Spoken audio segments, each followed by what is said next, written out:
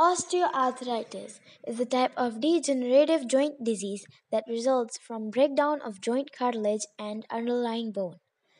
The most common symptoms are joint pain and stiffness. Usually, the symptoms progress slowly over the years. It develops as cartilage is lost and the underlying bones becomes affected. The most commonly involved joints are the two near the ends of the fingers, the joint at the base of the thumbs, the knee, the hip joints, and the joints of the neck and the lower back. Osteoarthritis is the most common cause of joint effusion of the knee. The development of osteoarthritis knee is correlated to age, heredity, female gender with a history of previous joint injury or with obesity. Three bones meet and move against each other at the knee point. The bottom of the femur meets with the top of the tibia. The patella glides along a groove located at the bottom and front of the femur.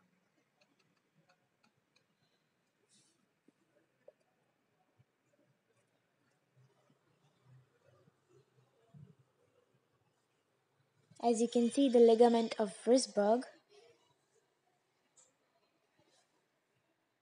and posterior cruciate ligament.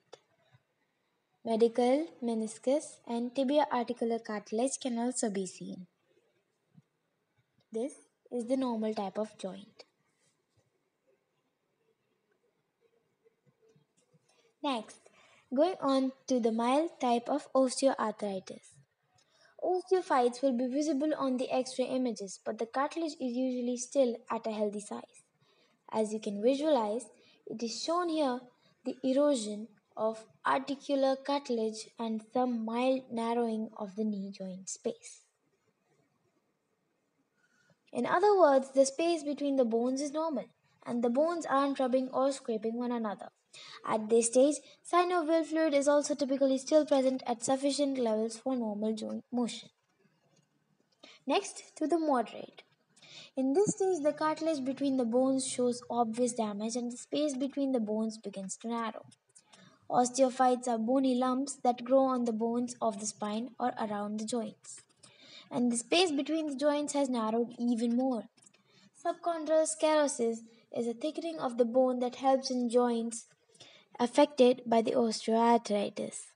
Synovial hyperplasia refers to an increase of the cellularity of the synovial membrane and leads to synovial thickening.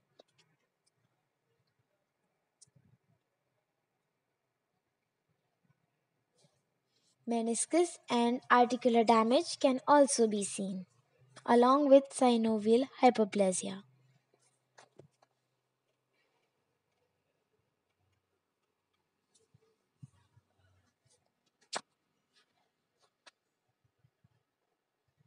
Now, going on to the severe type of neoarthritis, osteoarthritis.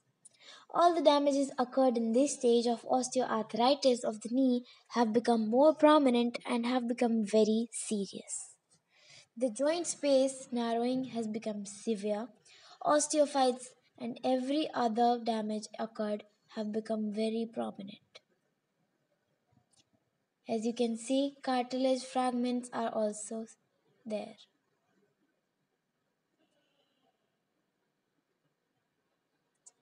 Synovial hyperplasia can be seen almost everywhere. Capsular fibrosis and thickening can also be seen.